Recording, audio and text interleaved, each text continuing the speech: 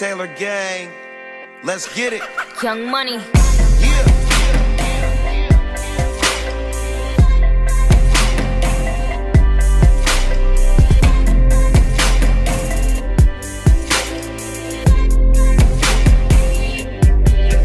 There's some people coming with me and I know who they are. And some that just ain't gonna make it and I know who they are. And I know they ain't gonna like it, but quite alright. I ain't need no one my whole life and I've done alright. Welcome back to the channel. Today uh, we are going to be reviewing Love is Blind, episode 10. If this is your first time joining the channel, coming across this video, coming across me, thank you for joining. If you're a returning viewer, thank you for coming back and showing your love. Um, but before we get into the video, make sure that you like, comment, and subscribe to be notified every time we post a video on this channel. Um, today we are going to be reviewing episode 10, okay?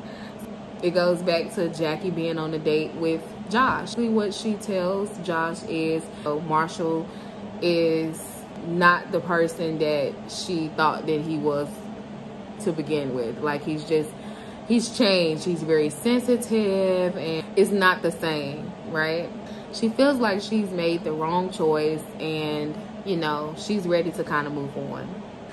Long story short, Josh just basically tell her, listen, I'm listen, I just want an opportunity with you. That's all. I just want to get to know you and I want to see where we can take this thing. And she just told him like, listen, I don't think I'm ready for marriage. I don't I don't think I can offer you that, but what I can offer you is a chance. We can see where this can go. You know what I'm saying? So the next thing was Marshall coming home and Jackie being on the couch and they kind of like hello and he like so what we doing Jackie what's what's going on and she just like listen I'm just gonna be honest with you I don't think I can do this relationship anymore and he like what you mean just say I, I I don't think I can do it I feel like you know I've tried and I thought I could and everything like that and I just can't and girl why the fuck this man asked for his ring back Tell me something well why did you accept my proposal Bitch, at the time, I was doing it. We was doing this thing. You know what I'm saying? We was doing it. I don't know what happened, but I, I did my part. He was like, well, I'm gonna need my ring back. She was like, I don't think, I, I don't think I'm gonna give you the ring back. Because at the time, I said yes. And you gave me the ring. So why would I give it back? She was like, well, he said, well, I hope you remember when you look at the ring that you remember that you passed up on something good and yeah this shit is crazy um they packed up and left the townhouse y'all kwame and chelsea went and got engagement pictures made.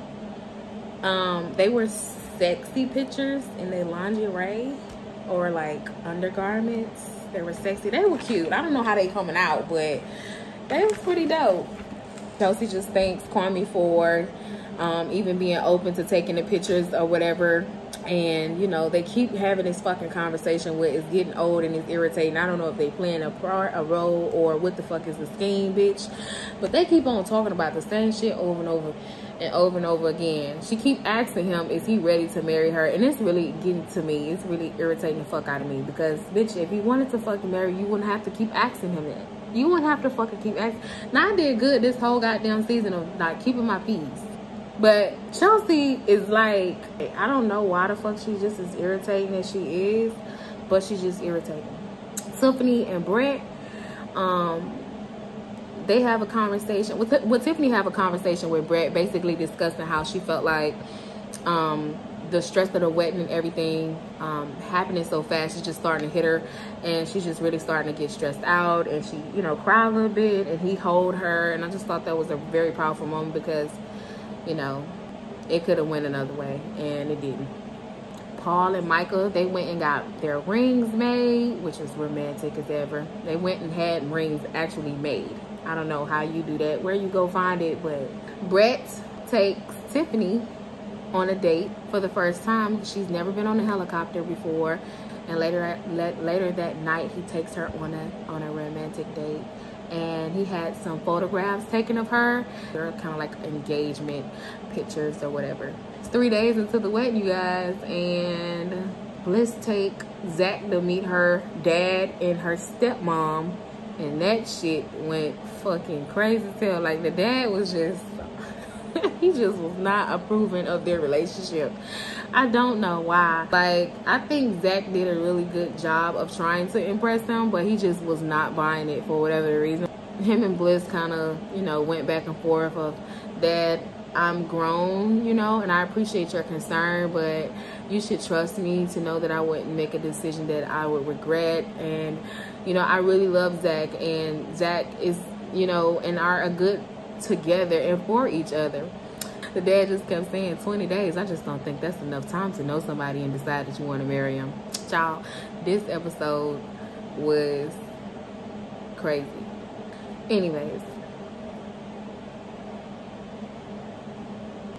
I hope y'all enjoy this. Make sure that you like, comment, and subscribe to be notified every time we post a banger on this channel. Make sure that you select the bell and hit all, honey. Don't forget to hit all so you'll be notified every time we drop a video. Um, but yeah, thank you guys for watching. Until next time.